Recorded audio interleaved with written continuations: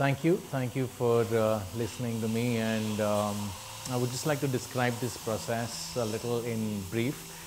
I started my NDECC training in, let's say, March first week, and it's been two months that I've been working here. Honestly, I was contemplating should I be doing it right now? Should I be doing it later? Should I wait for some people to pass out and get their reviews and then see how it's going? Um, or should I just take the plunge? And uh, I did my research of uh, finding which is the most suitable organization that can help me through the process. Um, we, we learned about Confidentist and um, we did a site visit. We, we were told how the program is made, how the demonstrations are going to be, and um, how, how the whole process is, you know, from the word goal like you start your, you start your first uh, demonstration uh, to your final work check. They, they kind of brief you on that. They describe how the process is going to be.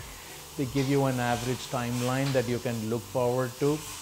And um, honestly, never is it going to be the right chance or let's say the right chance or the right moment is now.